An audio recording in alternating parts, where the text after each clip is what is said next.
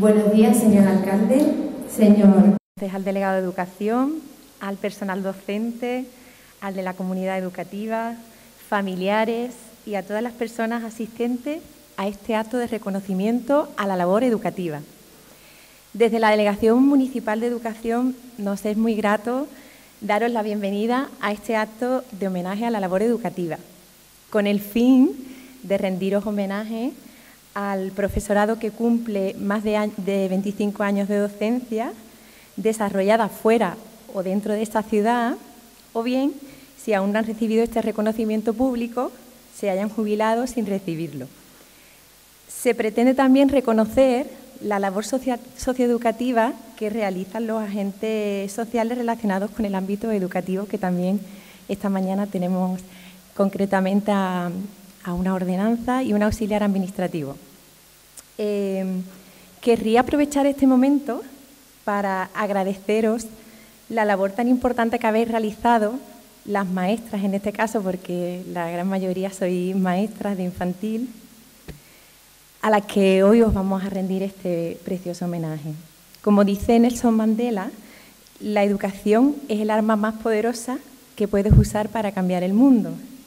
Gracias por ser parte de ese cambio, por sembrar semillitas de amor en el alumnado, así como agradecer también la labor tan importante que han realizado otros y otras profesionales de la comunidad educativa como ordenanzas o como auxiliares de administración, ya que sin ellas este sistema educativo no podría llevarse a cabo eh, con la calidad y la eficacia que, que requiere. Como hemos visto en el vídeo, gracias por todo el tiempo, por todos los valores compartidos y por mostrar lo maravilloso del conocimiento y sobre todo gracias por educar con el corazón. Eh, sin más dilación, le doy la palabra, tiene la palabra el señor alcalde, don José María Román Guerrero.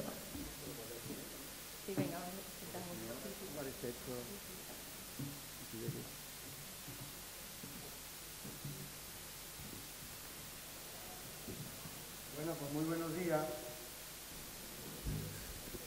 Buenos días y encantado de estar aquí con colegas. ¿eh? Y varias, varias ideas que me, venían a la cabeza, ¿no? Porque creo que este acto, cuando comenzamos hace ya muchísimos años a hacerlo, lo hacíamos un poco al principio, eh, porque ahora, estoy viendo allí a Raquel, si no me equivoco, digo por la dificultad con las mascarillas, ¿no? Digo, digo Raquel por decir una chiclanera, hija de chiclanero, y que, y que es un docente chiclanero como me pasó a mí en su día pero lo habitual es que todos los docentes de China, bueno, y, está Mercedes ahí, por ejemplo, también, ¿no? Que digo porque lo habitual era que los docentes eran personas que venían de otras tierras, fundamentalmente castellanos, ¿no? Y también muchos extremeños, por ejemplo, también, ¿no? De todos sitios. Y, y hemos hecho un recorrido precisamente muy importante y ya afortunadamente pues hay un nivel de formación, pero es que arrastrábamos y veníamos de un tiempo en donde el nivel formativo aquí era, escaso. Bien, hemos ido avanzando y, evidentemente este reconocimiento sigue siendo tan válido como antes o más si cabe, ¿no? Y, y somos docentes y nos dedicamos a enseñar pues lengua, matemáticas o geografía o biología, pero yo creo, quería detenerme en un par de cuestiones muy de actualidad y ahora muy interesante. Yo creo que sobre todo somos enseñantes en valores. Yo creo que ese es un tema que aunque no esté en el diseño curricular y no esté en lo que toque del día, son cosas que sobre la marcha, conforme se inicia una clase, todos y todas lo hacemos, ¿no? Y, y ahora hay dos elementos, hablando de valores, algo vinculado a ese drama que estamos viviendo con la guerra y la invasión de, Rusia en Crimea, de, Putin contra Crimea, y la importancia de que eh, desde los enseñantes y desde aquella persona que está en portería y que está diciendo a los alumnos también y alumnas sus cosas y las limpiadoras y demás, porque todo todos forman un núcleo que al final genera la tendencia para dónde tiene que ir el niño, la niña, el estudiante en cuestión, eh, decía que ese tema es fundamental a la hora de, que la sociedad avance. Y la semana que viene estamos en la semana, el 8 de marzo, con el Día Internacional de la Mujer. Y claro, como venimos de un tiempo en donde se supone que los derechos de la mujer era un asunto que había, igual que la violencia de género, que era de los más mayores, pero no de lo actual, y vosotros y vosotras que sois docentes sabéis que el acoso, la presión del chico contra la chica es tan actual hoy en cualquier centro como lo podía ser antes, también ese tema es también vital, igual que la brecha salarial y todo eso. Y esos elementos de valores, yo creo que esa educación en valores son, creo que son elementos imprescindibles y que hay que seguir, que nos toca, ¿no? o, bien os toca, o os tocaba, eh, hacerlo en esa tarea de hacer una, una ciudad cada vez mejor y más integradora cuando en los centros hay esa atención a la diversidad, se está trabajando algo que es tan importante como no dejar a nadie atrás y que todo el mundo se pueda sentir cómodo y a gusto en la sociedad.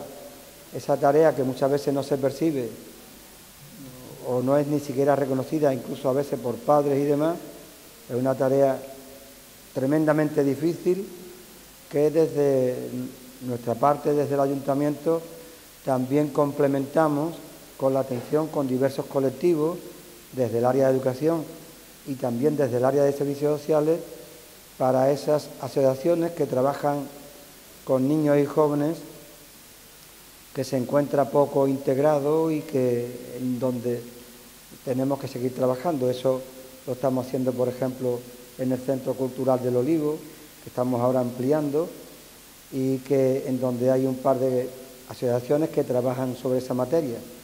Y bueno, y creo que también es importante, eh, hablando del Centro Cultural de Olivo, que está en obra ahora para precisamente generar también allí un nuevo centro de sala de estudio como es Braque, que son las nuevas modas que hay hoy en, los estudios y que se estudia pues eh, en esos centros y no en las casas como era la costumbre habitual, ¿no?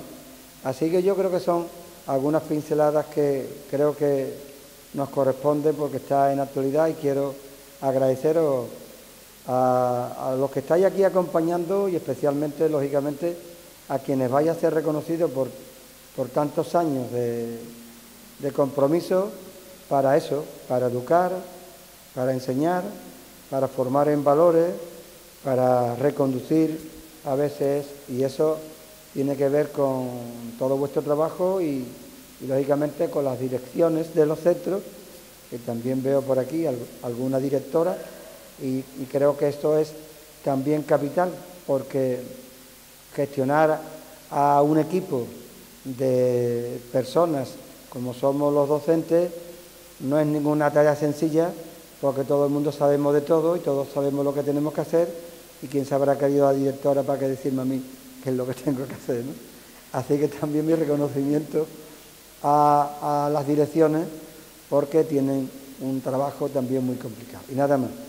Las gracias para todos y ojalá mmm, a Putin se la afloje o se le apriete un tornillo y, y volvamos a la normalidad que todos deseamos. Muchísimas gracias a todos por vuestro trabajo y por vuestro, vuestra entrega, ¿vale? Gracias.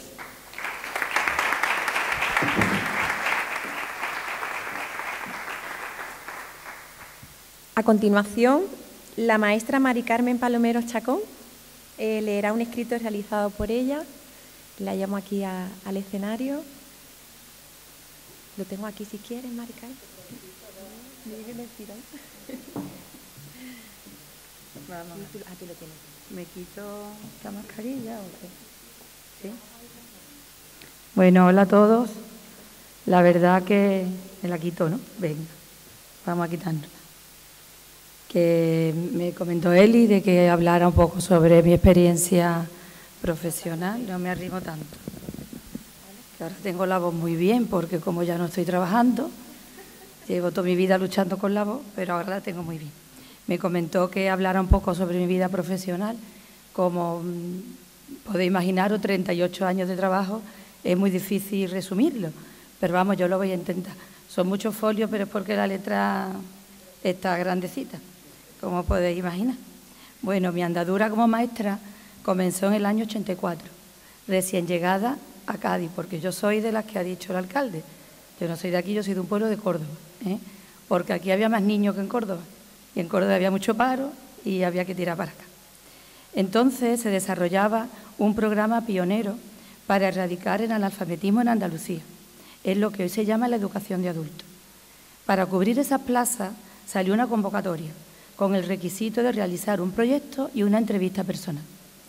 Y con muchísima alegría fui seleccionada junto con otro grupo de maestros y de maestras. Yo creo que ayudó el hecho de que el verano anterior en mi pueblo se formó una asociación de maestros en paro y nos dedicamos a alfabetizar en los barrios más desfavorecidos. Yo tenía mi, justificante de haberlo hecho y creo que eso ayudó, ayudó bastante. Me destinaron primero al puerto y después a San Fernando. Recuerdo aquellos años con muchísima alegría. No podéis imaginar ese grupo de maestros que teníamos veintipocos años ¿eh? con un proyecto tan ilusionante, porque es que estaba todo por hacer. Había muy poquitos libros y entonces nosotros partíamos de un tema de actualidad y de ahí teníamos que sacarlo todo, inventarnos los problemas de matemáticas, todos los ejercicios de lengua. Esa era la forma de trabajar que mi amigo Luca, que está aquí, también lo sabe bien. Totalmente artesanal y en equipo. Una enseñanza activa y participativa. Era muy gratificante para mí ver a esas personas disfrutando tanto de un aprendizaje que durante mucho tiempo se les fue negado por distintas circunstancias. Y a razón de lo que ha dicho el alcalde del Día de la Mujer, resulta que los centros de adultos prácticamente estaban llenos de mujeres. Entonces fue una escuela de mujeres. ¿eh? Las mujeres allí pues descubrieron primero todo lo que fue un mundo a su alrededor, empezaron a entender noticias que nunca habían entendido en la tele y sobre todo empezaron a conocerse a ellas mismas. Toda una experiencia. El programa educativo de adultos tenía una cosa buena también, que incluía talleres complementarios.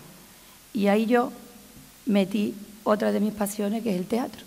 Entonces, con muchísimo trabajo, mi compañero Luca y Mari Carmen lo saben bien, iniciamos la primera obra de teatro. Fue escrita por el propio grupo que se llamaba Nunca es tarde, donde se reflejaba la realidad de esas mujeres que iban por primera vez al colegio.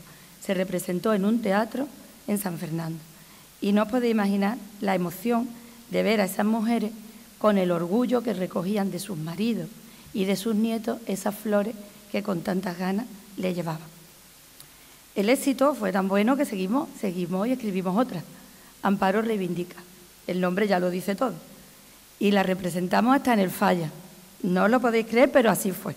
Hubo un concurso y casi, casi lo ganamos. Quedamos en segundo lugar. Y eso, vamos, ve a todo el mundo allí de pie, aplaudiendo. La verdad que fue muy chulo. Y luego ya nos atrevimos como broche de oro. Está aquí mi, mi amiga Estrella, que no ha podido venir. Está Luca, que me ha ayudado siempre en todo lo que es el sonido, la música. Y una de las actrices hicimos, agarraros bien, historia de una escalera de Buero Vallejo, vamos. Yo no sé ni cómo lo hice.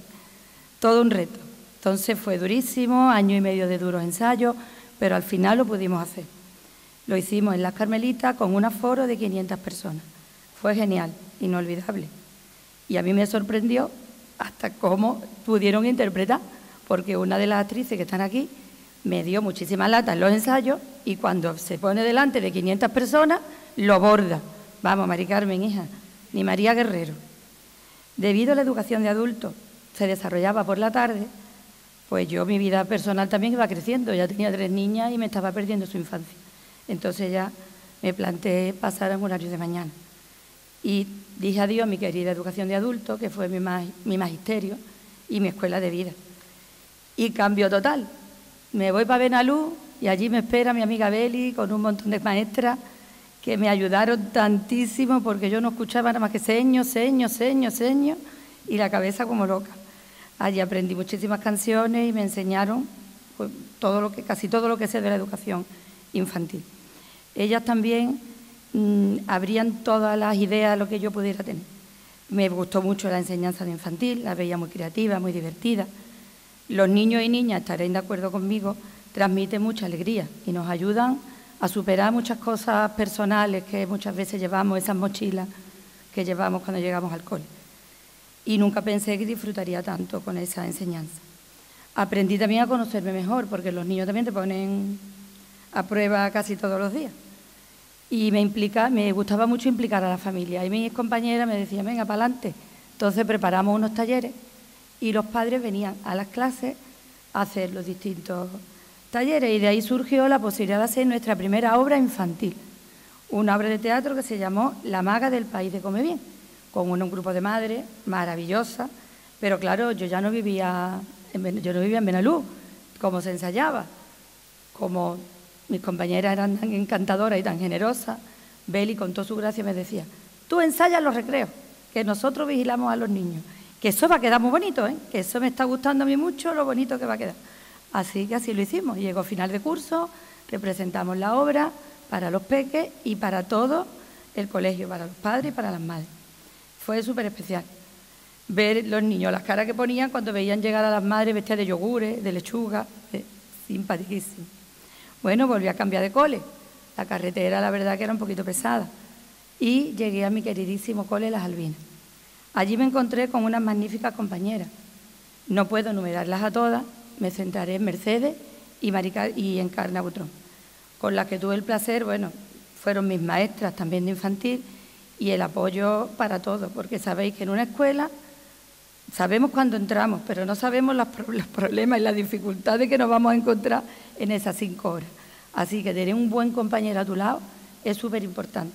Yo siempre lo digo, los niños podrán ser más fáciles o más difíciles, pero dame un buen compañero que es el que es mi aliado en todo lo que se me presenta. Y aquí pues, otra vez hicimos otra obra de teatro, Los Héroes de la Paz, que lo representamos hasta en el ayuntamiento, y en el ayuntamiento, perdón, en el Teatro Moderno. Y nos dieron la posibilidad de poder representársela a, otros colegios. Entonces pudimos hacerlo durante tres días en varias, en varias sesiones. La verdad que estuvo muy bonito. Gustó tanto que seguimos, seguimos haciendo otra, ya relacionado con, la, con lo que es el cuidado de la naturaleza y, la, y el reciclaje, que se llamó las 3R. Ya en estas obras no solamente participaban padres, sino participaban alumnos y profesores. Y ahí yo metí a Toquique. Por lo tanto, no puedo olvidarme de mi gran amigo Manolo Otero, que trabajamos codo con codo para llevar a cabo todas estas obras. De Mari Carmen Ávila, que pone la sal en todo lo que hace. De Aurora, que ayuda y es estupenda. A Jordi y José Manuel en el sonido. Al conserje José Antonio, que, vamos, que todo lo que se le dice, ahí está ayudando. Y por supuesto a Ricardo, que con su gracia particular los textos los pone más, más simpáticos. Una gran satisfacción. No importaban las horas, ¿verdad, Esther? No importaba. Las horas extras que le teníamos que echar. Las caritas de los niños y las niñas, todo lo compensaba. La última obra que preparamos fue una adaptación de La maga del país de Come Bien. Y aquí tengo a la maga, que si hubiera estudiado arte dramático, hoy sería una de las mejores actrices de España. Y no lo digo por halagarla, porque es verdad. Y, nada, pues en esta obra ya también metimos a, niños de todos los niveles del colegio, con lo cual imaginaron el elenco que allí había. Había más niños en el escenario que en el, patio de Bogotaca. Y quedó muy bonito y hasta le pusimos efectos especiales, ¿de acuerdo, Esther? Así que nada, ya para terminar, solo quiero deciros que ser maestra o maestro no es nada fácil y vosotras lo sabéis muy bien. Y vosotros. En algunos momentos resulta bastante duro, pero gracias al cariño de los compañeros y de los peques, pues todo lo compensa. Y me considero muy afortunada, la verdad, por haber podido hacer realidad dos de mis pasiones, que es ser maestra y ser directora de teatro. Y sin la ayuda de mi familia, de los padres y madres y de mis compañeros, no hubiera sido posible. Así que muchas, muchas gracias.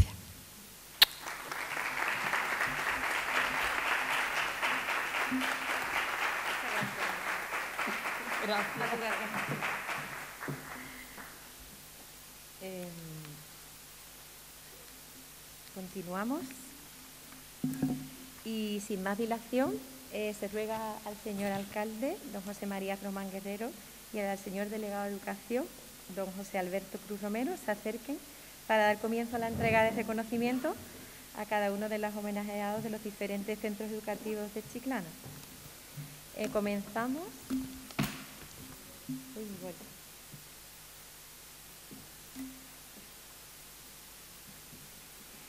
Ella es maestra de educación física, inicia su actividad en el año 1991 en Vejer de la Frontera y ha pasado por diferentes centros educativos de la provincia de Cádiz, como Barbate, Algeciras, San Lucas, hasta llegar en el 2004 al Colegio Isabel la Católica, aquí en Chiclana de la Frontera, donde ha realizado su labor siendo maestra de educación física, tutora y también coordinadora de Escuela Espacio de Paz y de Igualdad. Eh, así como también ha participado en proyectos europeos como Comenius y Erasmus con 11 países europeos, donde ha viajado con el alumnado a diferentes países como Polonia, Hungría, Lisboa. Por todo ello, se le hace entrega de este reconocimiento a Mari Carmen Martínez Zafra del Colegio Isabel la Católica.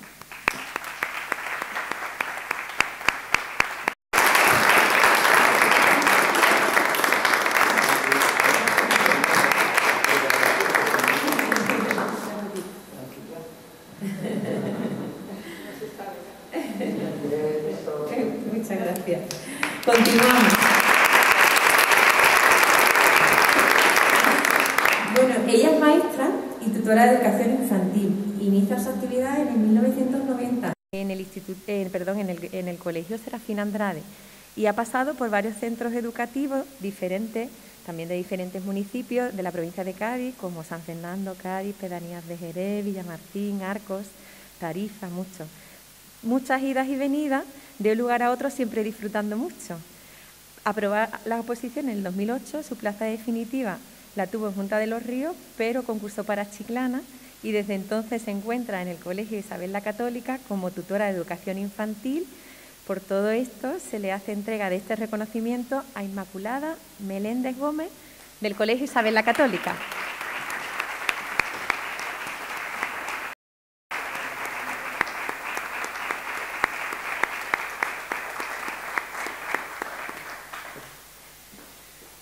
Continuamos. Esta maestra se inicia su actividad en 1984 en la educación de adultos, como bien ha comentado.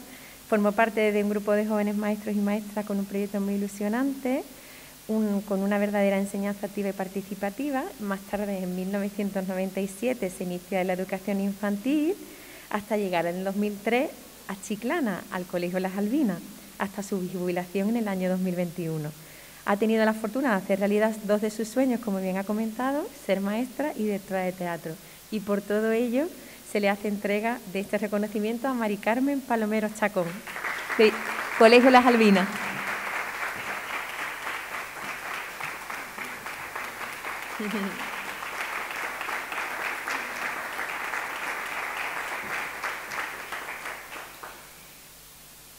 Continuamos.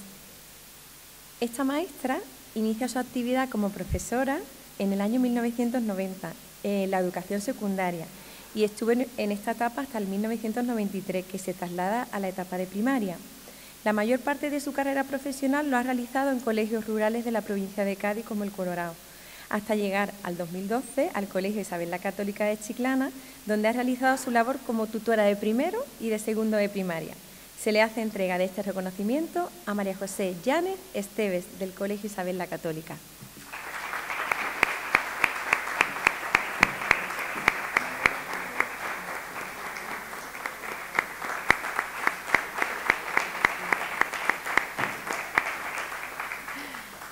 Continuamos. Eh, esta maestra ha desempeñado su labor en, múltiples centros de la provincia de Cádiz también, Jerez, San Lucas, Chipiona, Rota, Barbate, La Línea. En el año 2003 aprueba las oposiciones y su plaza definitiva es en Benalú y luego concursó y le dieron de destino Isabel la Católica, centro en el que ejerce desde entonces como tutora de educación infantil y coordinadora de este ciclo. Se le hace entrega de este reconocimiento a Ana María Arane Aranega Ortega, de Colegio Isabel la Católica.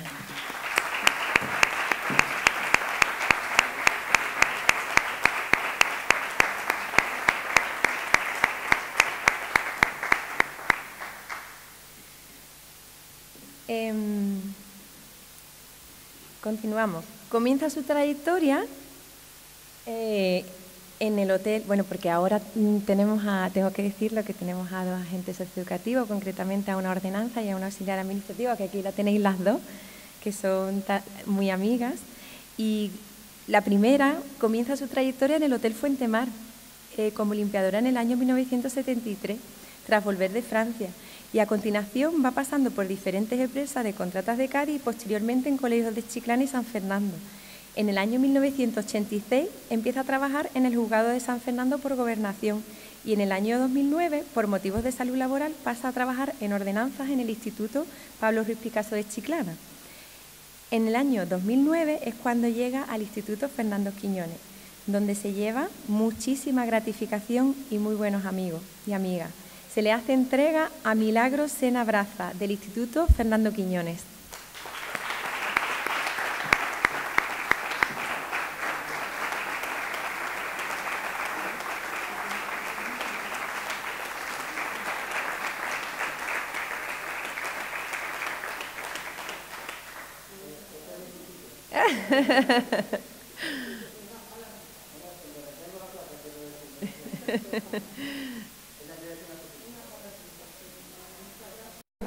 Quiero ponerte aquí en el micrófono para que te oigamos mejor. Muchas gracias a todos y a todas. Agradecer a estas personas que han hecho posible este acto tan emocionante y en especial a Elizabeth, con quien ha tenido contacto telefónico con ella. Muchas gracias a todos.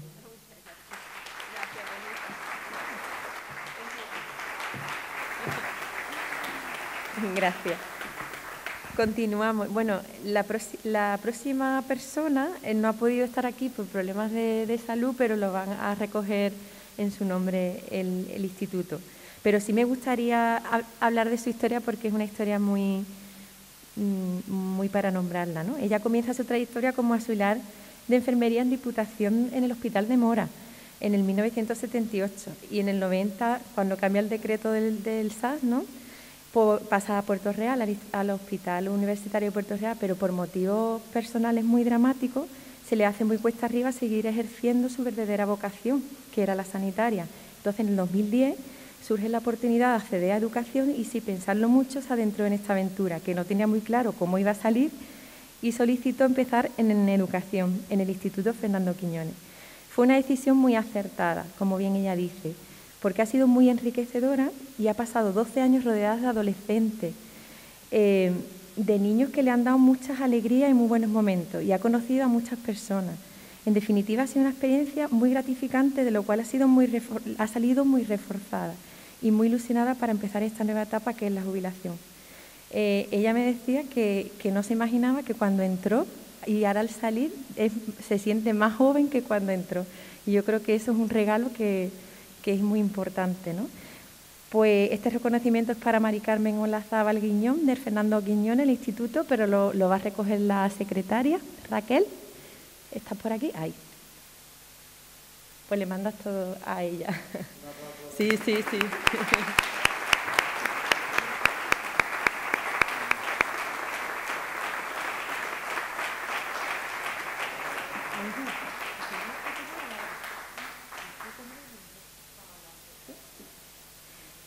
Muy bien.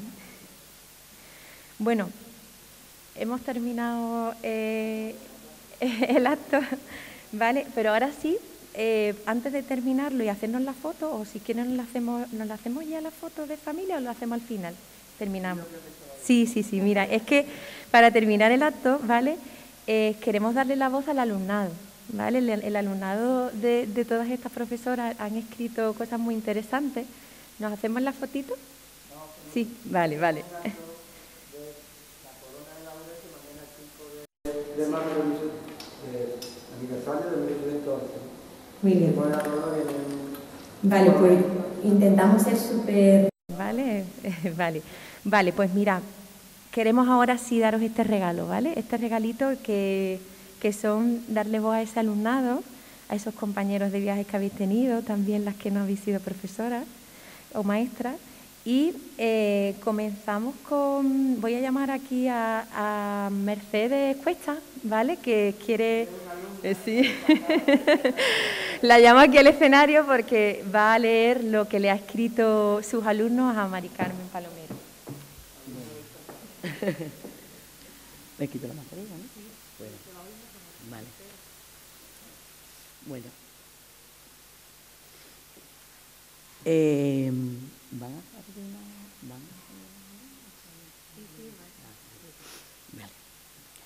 Bueno, buenas tardes. Yo voy a leer mm, lo que dos alumnos de las Albinas, Adrián y Celia Ortega, le han escrito a Mari Carmen. Lo han escrito con el corazón y espero yo leerlo con el corazón y que no me tiemble la voz, porque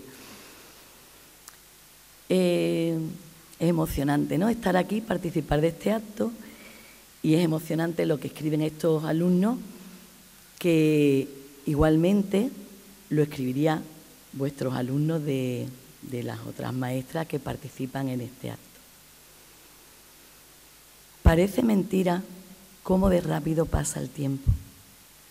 Aún podemos recordar el primer día, niños repletos de miedo, inquietud y emoción por conocer nuevos amigos y maestros. Lo que no sabíamos era que todo iba a ser mucho más llevadero gracias a la maestra Maricarmen. Al principio no éramos conscientes de que aquella mujer sería capaz de lograr hacerse un hueco en nuestros corazones desde tan temprana edad. Gracias a su entrega, cariño y dedicación hacia nosotros. Menos mal que fuiste tú la que nos acompañaste durante todo preescolar, pues de no haber sido así, estamos seguros de que no hubiera sido lo mismo. Durante esos tres años nos cuidaste como hijos. Te tomaste tu tiempo para escucharnos, transmitirnos tus conocimientos, con el fin de enseñarnos de la mejor manera posible.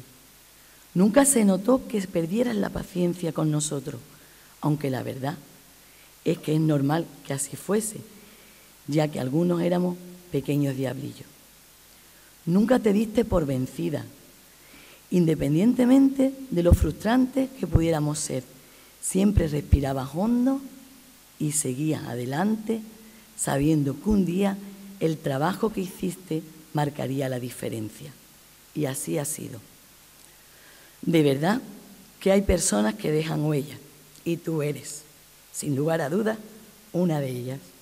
Nos cogiste cariño, abriste las puertas de tu corazón y nos dejaste entrar para que nos acomodásemos allí, haciendo que ir al cole fuera divertido.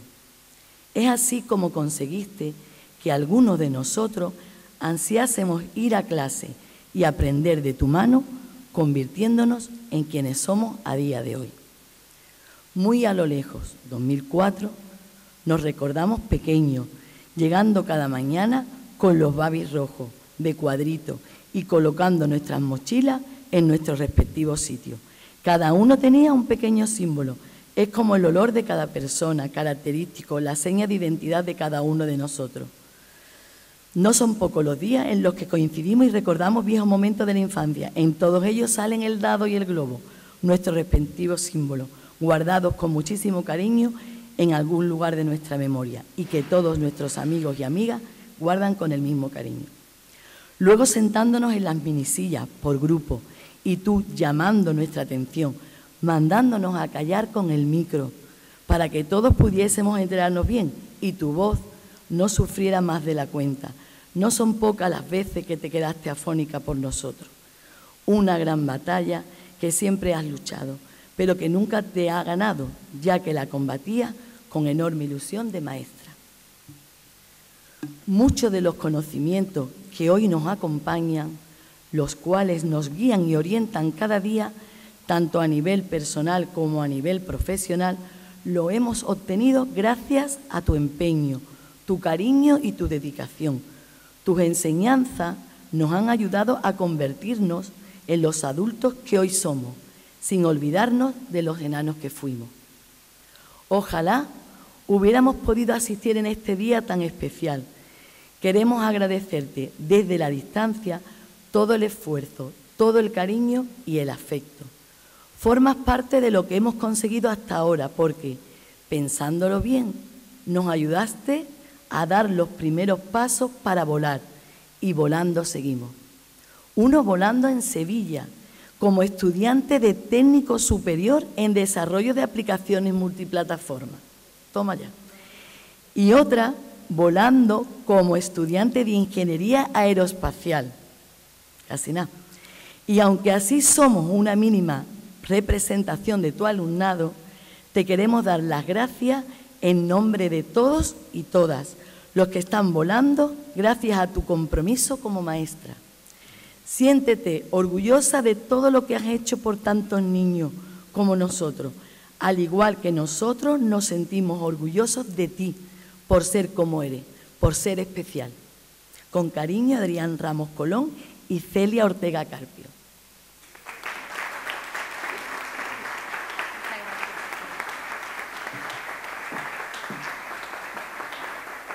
Y para terminar, eh, quiero llamar a, a, Charo, la directora del Instituto Fernando Quiñones, que hable en representación de Milagros y Mari Carmen.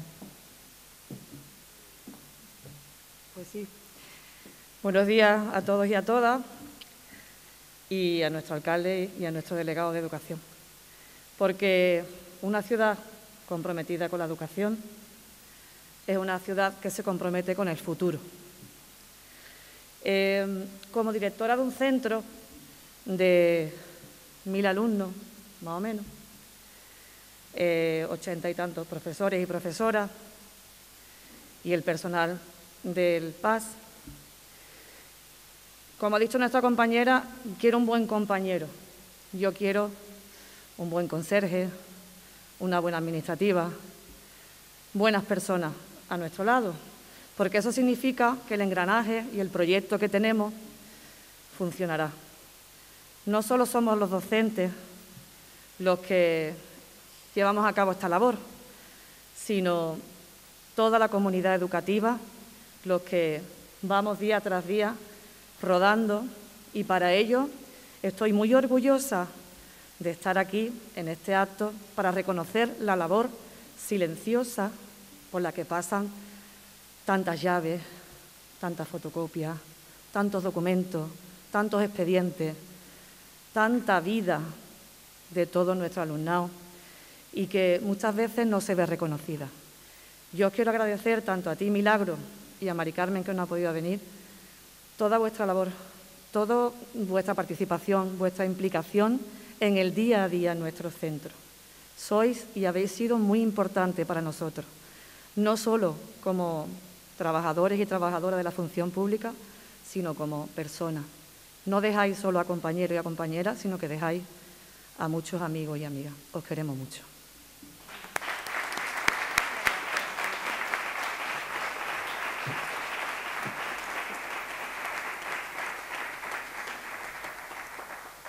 Muy bien, ahora sí os llamo al escenario, nos hacemos las fotitos de familia. Sí, sí a todas las personas